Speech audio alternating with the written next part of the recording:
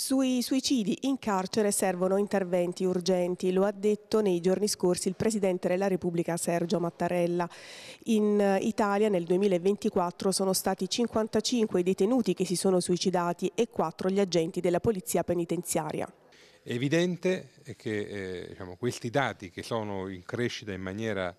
eh, impressionante hanno a che fare con la condizione anche dei detenuti. In Italia purtroppo le carceri non sono adeguate e noi da questo punto di vista per le funzioni che svolgiamo, e qui al mio fianco abbiamo la garante eh, dei eh, diritti dei detenuti, eh, riteniamo che occorra eh, risvegliare le coscienze e fare in modo che il legislatore possa farsi carico eh, di questa criticità affinché chi deve pagare la propria pena eh, lo possa fare all'interno di un contesto adeguato, all'interno di un contesto civile. Se ci sono appunto tanti suicidi vuol dire che la funzione rieducativa del carcere non c'è?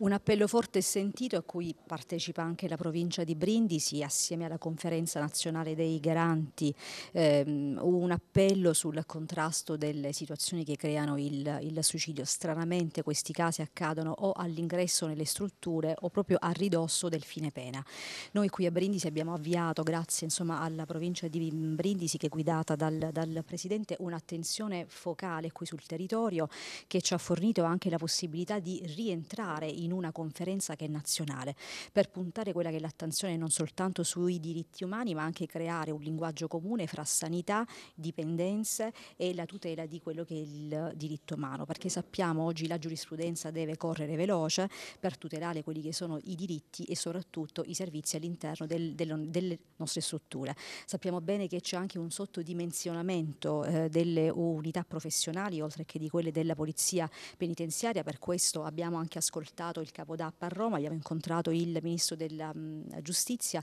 il garante nazionale, proprio per fare in modo che la provincia di Brindisi, che ha ben diverse strutture, e ricordiamo non soltanto la casa circondariale, ma la REMS e anche diciamo, il CPR,